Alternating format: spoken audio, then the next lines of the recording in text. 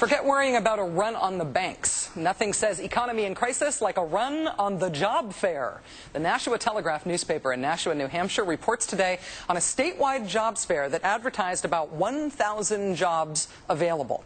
They expected a big turnout and they arranged bus transit from a nearby mall for about 600 people per hour. Instead, more than 10,000 people showed up in the first two hours. And that doesn't count the people who turned back when they saw the crowds and the lines. The event eventually had to be shut down early as lines of job seekers snaked across the campus of Southern New Hampshire University and people hoping to get on those shuttle buses uh, the, from the parking lots of the Mall of New Hampshire brought both sides of Route 293 to a debilitating standstill. So welcome to today's visual representation of our imperiled economy and the still rising unemployment rate. That rate is one of the things that everybody seems to get about this economic crisis. Amid a complicated amalgam of bad economic problems and all the different proposals being floated to fix those problems, unemployment is pretty simple. It's a fairly uncomplicated, easy to understand one that has been kicking the country in the teeth since this current economic meltdown was just a twinkle in the old downturn's eye. Of all the economic tools President Obama and his team have employed in the past few months, the one most specifically tailored to counteracting unemployment has, of course, been the stimulus bill. Republican governors like Alaska's Sarah Palin, Louisiana's Bobby Jindal, and South Carolina's Mark Sanford have been trying to make political hay by standing up against the stimulus bill. But now they're finding it politically impossible to actually literally turn down all the cash. Politico.com's Ben Smith reports that all three have now submitted letters to the White House saying they would please like to be eligible for those federal funds that they've been railing about. Trying to save face, Governor Sanford's political allies have paid for a video in which the governor defends his stance, sort of, against the stimulus. Going further into debt will not solve a problem that was created by too much debt. So he's against the stimulus money. He'll probably be accepting anyway because it will worsen this economic crisis that was created by debt. The crisis we're in is because of debt. Really? Joining us now, Adam Davidson and Alex Blumberg, hosts of the Planet Money podcast from NPR, two non economist, relatively normal reporter guys known for explaining the economy and the current crisis to other regular people in an understandable way. Gentlemen, thank you for being on the show tonight. Thank you for having us. I hope I did not bother you by calling you relatively normal. Uh, no, yeah, right. um, Governor Mark Sanford says this economic crisis was created by debt. I don't get that. Is he right? Yeah, he's right about that. Okay. It, um, basically, over the last uh, 10 years, the world changed a lot. One of the ways the world changed was the U.S. got U.S. consumers got into so much more debt than they had ever gotten into before. Uh, well, in a, in a long time. Uh, a lot of that was household, you know, buy, buying homes. A lot of it was credit card debt and other things like that. And that certainly created the conditions for the crisis. It doesn't explain the whole crisis, but it's, it's a reasonable explanation. He, he means, though, that it's the national deficit, I think. Oh, I don't, I don't know what he means. It's, it's hard to tell what kind of debt he was talking about. There's a whole bunch of different kinds of debt.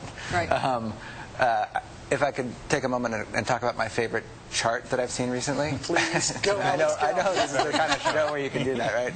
There's a, I was talking to a, a finance professor at, at, Columbia, and he showed me this the, his his favorite chart, which has now become my favorite chart, which is a chart of uh, household debt in this country over the last hundred years.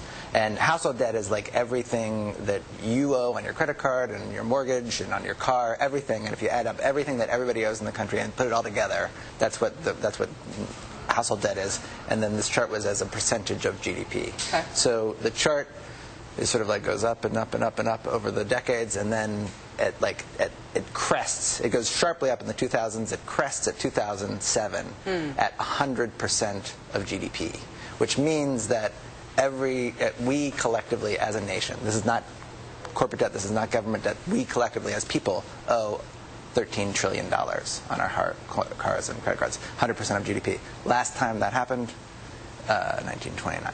Oh when something else bad happens. Yeah. Yeah. Is there any way that it could be argued, and I'm thinking about the tea parties now, mm-hmm. which I'm going to be talking about again in just a moment after you guys are safely out of the room because I'm worried that I'm going to bust up talking about it like I did last time. Is there any way in which the idea of the government running a deficit or accumulating debt, uh, in, to the extent that they did during I don't know, the Bush administration or say during the Clinton years when there was a surplus. Is there any way that that can be blamed for the crisis that we're in? Um, it, I, I don't think that can be blamed for Yes, there is a way it can be blamed. I'm thinking it through. I mean, I mean, another one of the ways in which the world changed that made this whole crisis happen is uh, is the specific nature of our debt. We we were as a nation spending about three to six percent, depending on the year, more than we as a nation made, and that is adding everything: the companies, the government, the people. And we were borrowing that money famously from China, from mm-hmm. Japan, from other places, and that created a distortion in how money moved around the world and it's a little complicated to explain right now, but it basically created a distortion that that that um, that, that inflated this debt bubble um, that that then burst, and we're now paying the price. So, if you want to get really mad, you have to blame the systemically created debt distortion. You have to blame, yeah, yeah, China and Japan and America and consumers and the banks. And and finance economics, where um, debt became something that um, was the basis of well, trading and all sorts of financial engineering, um, is something else that people who are worried about the economic crisis but don't understand about a lot of economics, a lot about economics worry about too. What about deregulation in the financial industry? What about the different things that could be traded, uh, that couldn't be traded before, different types of institutions that couldn't exist before, that did exist after deregulation in the 90s? This is something that I mean, it's really hard to like point a finger at. Like this, I mean, you can find people who will do that, who will say this, it was this deregulation at, at this moment that caused this crisis. Um, we're not those people, I'm afraid. um, but uh, but there, I, I, think there is there were there was a number of financial instruments that were created uh, that, that became very popular. They weren't created, but they became very very popular in the late 90s, early 2000s that weren't looked at very closely and maybe if somebody had been looking at them more closely, some of these problems could have been could have been solved. And Probably. looked at meaning policed. Potentially. I mean, I think what Alex and I often say is it's not so much that there was too little regulation, is that there was too uneven regulation. There were parts, like running a bank, you are really, really regulated. There's this idea that, you know, Ronald Reagan just made banks could go crazy, do whatever you want. It's not like that at all. Running a bank is tough. You have a lot, a lot, a lot of rules. But running an investment bank or a hedge fund is very easy. You have very few rules. I mean, I'm sure it's hard to do, but as far as the government's concerned. And it was this mismatch where you have like really heavy regulation in one area and no regulation regulation or very little in another area, that creates distortions too. So it's not so much more or less, but more even and maybe smarter regulation. Well, it seems like that would also be the problem when you have consumer banks, investment banks, insurance companies all becoming the same institution. Then you can sort of internally trade your level of I think that's, not, that's a story a lot of people are saying yeah. that there was this decision in you know um, 1998, 1999 to um, repeal Glass-Steagall. I, I think the evidence isn't persuasive that that was sort of a that was the one cause, like Alex was saying. I think that you know that's one factor among a lot of factors. But but there is, I mean, you know, there there is a sense that like there was there was a, there was a there was a, a, a sector of the financial services industry uh, industry where you could where where you could take on excessive leverage where there wasn't very much regulation, and that is a lot of that's where a lot of bad things did happen. Mm-hmm. You know, I mean, the credit default swap arena that did bring down AIG, that did sort of pile-on problems that and is costing us. Mortgage-backed securities too? No, I think mortgage-backed securities are honestly. I think they're a wonderful thing. They should be around for a long time. Yeah, mortgage-backed yeah. securities yeah, were around for a long time, and, and, th- and they, they as by themselves, did not do this. But it was it was the sort of the, it was the it was the um, the craziness that went.